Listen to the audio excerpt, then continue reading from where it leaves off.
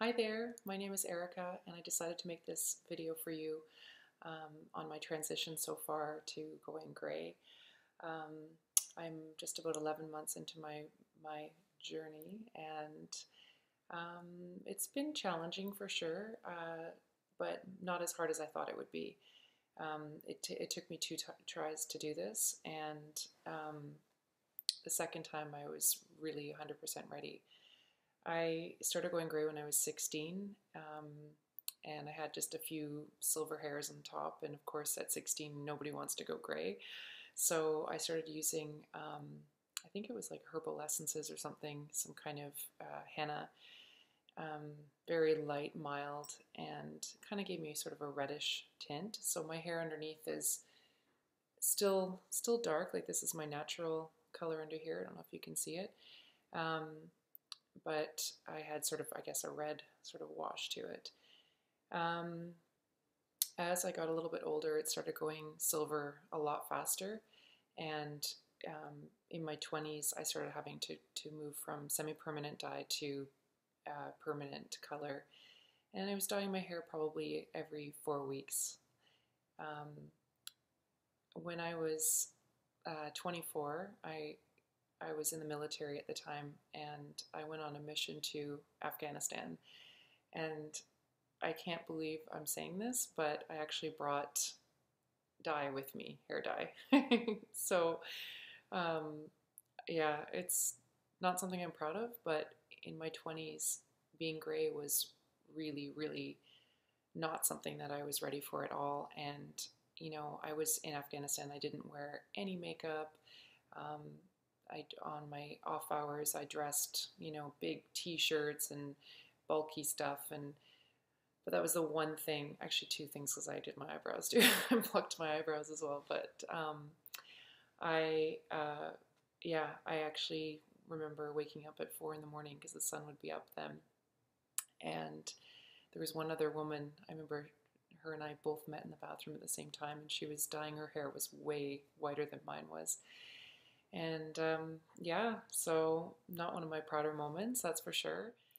So in my early 30s, um, I was really getting tired of dyeing my hair every two weeks. Um, I just felt like my whole life revolved around dyeing my hair. And, you know, you'd be thinking, okay, what event do I have coming up? And you'd be looking at the calendar, and it just felt like every single thing that I did revolved around dyeing my hair. And I know that sounds bizarre to anybody that, that doesn't, but if you're watching this, I'm pretty sure you, you know what I'm talking about. Um, I just was tired of that and I just wanted to go be a little bit more um, natural and free. I guess free is the word. So um, the person that probably was uh, had the most difficult time with the idea of me going silver was my husband. Um, so we've been together uh, for 11 years. uh, 12 years this year. And um, yeah, he said, no, not until you're 40. So I'm 39 right now. And two years ago, I said, that's it, I'm done, I can't do this any longer. And in the summertime, um, I decided to, I do weird things with my hair. I've always done different colors. Um, but I decided to uh, bleach my hair, and I had my hair was probably down to here, um, and I just bleached it all. Um, and of course, you know the box says that you you know it'll be blonde when you bleach it, but it, it isn't blonde. It's uh, it's orange, and my hair was was very orange, um, and so I. my husband came home to the, I think the first round, and he just looked at me like, "You're crazy. What are you doing?" And um, so the next day I uh, bleached it again. And I, am lucky I have really strong hair. So uh, it basically was a lighter shade of orange. it didn't fall out, thank goodness. So I did that. And then I realized that I needed to do some kind of toning. Um, and I decided to go and actually get uh, a permanent dye. Um, so I got ash blonde, and it was it was good. It wasn't that bad. I actually didn't mind it. Um, but it was just a huge change from brunette to to that light of a blonde.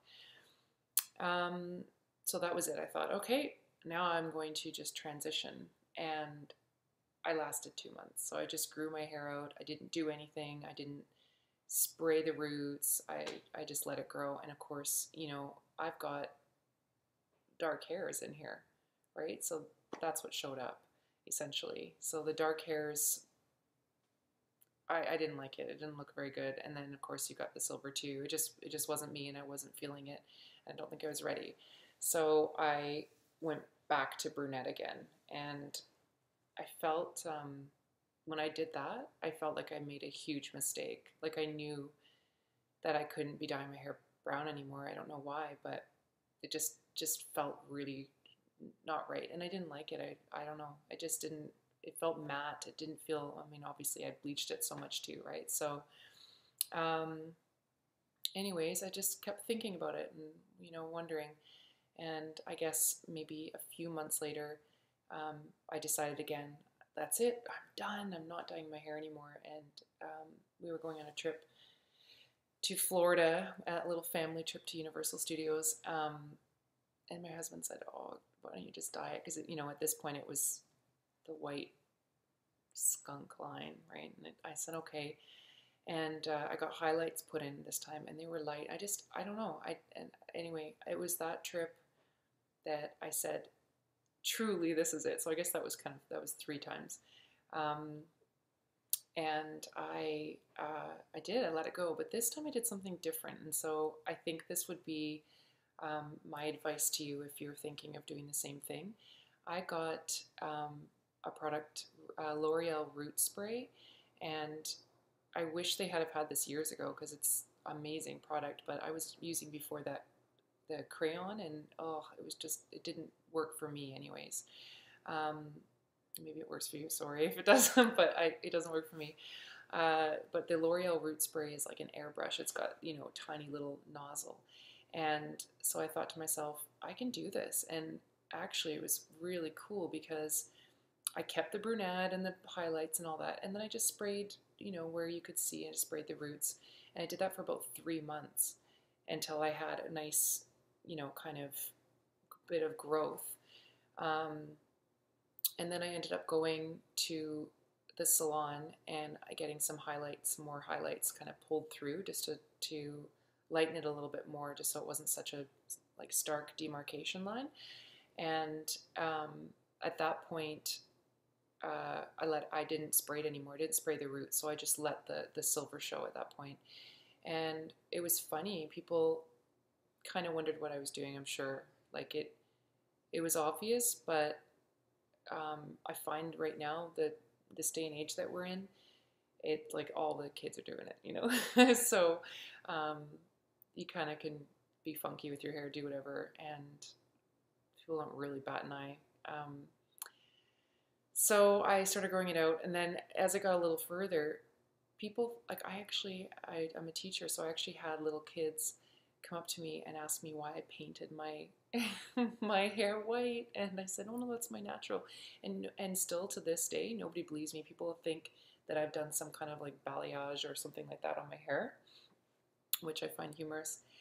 Um, yeah, so anyway, so this is my hair right now. I I try to style it in different ways. Like I've kept it I've kept it short. Um, oh yeah, that's right. After when I decided to get it uh, to grow it out, I I had it all chopped off a little like shorter than this, um, but not a pixie cut because I I don't feel um, that suits me it's just not my my personality. So I usually go like shoulders or or longer. Um, so, anyways, I uh, I got it cut, and then I just started growing it out for a while, and then I guess that's sort of the painful process because you have those moments where you look at yourself in the mirror and you're like, "What am I doing? This is crazy," and you look like an old woman and all this, and um, I just feel like uh, in our society, um, gray is sort of synonymous with old, and it's sad, you know, because I wonder, I always wonder how many of us are just dyeing because we don't want to look old. Um, but I don't know. I've actually, I feel like I have had more compliments on my silver hair than I ever did on, on brunette. So I have a really important um, piece of advice if you're if you're going through your transition right now, and I actually got this from um, a woman named Annika von Holdt, and she's got uh, all these pictures on Pinterest, and uh, she's got a blog and all this, and I suppose she's sort of my my silver hair muse, if you will. And um, anyways, she has this great blog post, and in it she says, "Do not tone your hair. Like, do not tone your natural hair because it will take, like, it will stay. It will take. It will turn it yellow." And I, when I went to a second time to go get my hair um, lightened, and then I had him tone it silver. It uh, he toned my natural, and I was actually really like upset because a lot of this, like you can see, I don't know if you can tell, but this is all blonde still, and a lot more of it would have grown out um, had it not been toned. So that's my piece of advice: is like just get to the point where you just let it grow. And um, so I'm natural to about I can't really you can't tell in this video very much to about here, and then this is um, basically just blonde and it has to grow out and it's still dry and all that kind of stuff. Um, so underneath here, um, I'm still pretty dark, but I've got lots of gray. But this up here is very, very um, silver. So you've probably heard this before, um, but if you're ready for your transition to gray, um, my advice is to make sure you continue to style your hair nicely and and not to let yourself go. I think um, there's a lot of rules out there, and you know people think, oh, you know, if you go silver, you have to change your makeup and you have to um, dress differently and all this kind of stuff. I don't agree with that. I think that um, you need to do you, and if that means um, you know continuing to wear the same styles or maybe updating your styles, I don't know, but um, you should just be comfortable with with what you're wearing and how you're doing your hair. All right, so I hope you enjoyed my um, my video. I um, I just know that I really appreciated uh, all the women that have posted transitioning to gray videos. Um, I mean, the pictures are great too, but it's really nice to hear somebody talking about it. And um, I know myself too. I also appreciate to hear stories from um, women that are uh, a bit younger as well doing it because I don't see anyone in my community doing this that's the same age as me. Um, I've had, I definitely have had a lot of women um, think that what I'm doing is bizarre, but I think that a lot of people now are starting to think it's okay. You know, now that they're seeing it more and more grown out. Um, yeah, I'm just me. So, anyways, I hope that that helped you out a little bit. And um, yeah, all right, take care. Bye. Hi there. I'm adding a little video at the end here. Um, it's uh, it's been 13 months now since I officially ditched the dye, and I'm I'm past the one year mark, so I'm pretty excited. Um, it does take a long time. I mean, it's funny because you think about it, and it, it life seems to go by so fast. But when you're dyeing, or when you're growing out your hair, it just everything sort of slows down. Um, you can't really see it in this video, but um, I've got some some blonde left, and I'm looking forward to that growing out. And it's funny, you know, just looking at it underneath, like how dark how dark it is. It's going to be really interesting to see if I actually grow my hair out, um, what it looks like. So I just wish you wish you well on your um, decision and give it a chance if you decide to to grow your hair out because um, it you'll have moments definitely where you think what the heck am I doing? And you have to be really patient. And um, yeah so good luck. Bye